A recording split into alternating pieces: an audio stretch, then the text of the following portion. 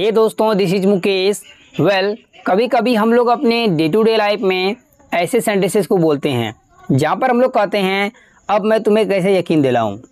अब वह तुम्हें कैसे यकीन दिलाए? अब हम उसे कैसे यकीन दिलाए? अब तुम किसी को कैसे यकीन दिलाओगे? तो ऐसे सेंटेंसेस को इंग्लिश में बोलने के लिए किस स्ट्रक्चर का यूज़ करते हैं? स्ट्रक्चर को जानने से पहले हम लोग जानते हैं, यकीन दिलाना। किसी को यकीन दिलाना। इसके लिए हम लोग इंग्लिश में फ्रेज यूज़ करते हैं make someone believe make someone believe का मतलब होता है किसी को यकीन दिलाना। या तो समवन भी आ सकता है, अगर किसी को यकीन दिलाने का सेंस हो।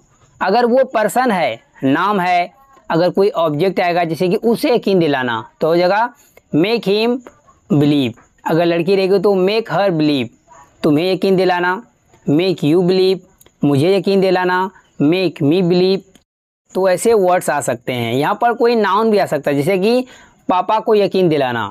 तो मेक डैड बिलीव तो इस तरीके से। यहाँ पर जो मेक है, इसको आप टेंसेस के अकॉर्डिंग टू चेंज कर सकते हैं। ठीक है? अब इसको बेटर तरीके से समझने के लिए कुछ एग्जांपल्स लेते हैं। तो आज का पहला सेंटेंस है, अब मैं तुम्हें कैसे यकीन दिलाऊं? यह पॉजन इंडेफिनिट का सेंटेंस इसके लिए बोलेंगे now how do I make you believe now how do I make you believe next sentence now को लास्ट में भी कर सकते हैं। अगला सेंटेंस है, अब वह तुम्हें कैसे यकीन दिलाए? इस सेंटेंस के लिए बोलेंगे, now how does he make you believe now how does he make you believe लड़की रहेगी तो सी कर देंगे वहाँ पर, ठीक है? सी की जगह। नेक्स्ट सेंटेंस लेते हैं। अब हम उसे कैसे यकीन दिलाए? इस सेंटेंस के लिए कहेंगे, now how do we make him believe now how do we make him believe अगला सेंटेंस लेते हैं। अब तुम किसी को कैसे यकीन दिलाओगे? यह फ्यूचर इंडेफिनिट इसका सेंटेंस इसके लिए बोलेंगे now how will you make someone believe now how will you make someone believe या नहीं तो how will you make someone believe now now को लास्ट में कर सकते हैं.